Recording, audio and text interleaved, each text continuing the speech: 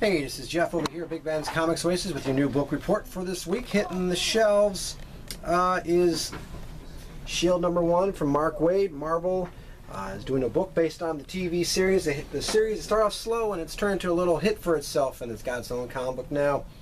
And other than that, uh, you know what else Marvel has? Miracleman, all new Miracleman annual, right there. And that's it for Marvel this week. Over at DC, uh, Future's End comes out this week. Earth 2 World's End hitting the shelves as well. And Batman Eternal also out this week. They kept those weeklies going. Uh, Image East of West number 16 out this week. And they have a uh, Image First for $1. You can get Scott Snyder's Wytches, the sold out number one book right here for a dollar.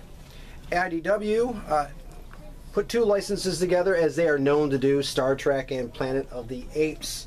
Uh, that's it for books this week. It was a big week last week, and we still have a lot of those books. If you weren't able to come by and pick them up because of the holiday, the Christmas holiday, hope you had a great Christmas. Uh, New Year's Eve tomorrow will be open from 11 until 5, and on New Year's Day from noon until 5.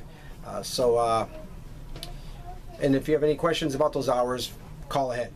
Other than that, uh, that is it. I hope you have a happy new year. I'm going to take a break. I won't be doing this uh, new book report again until next year. Ha ha ha. All right, thanks a lot. I'm Jeff, and thanks for watching.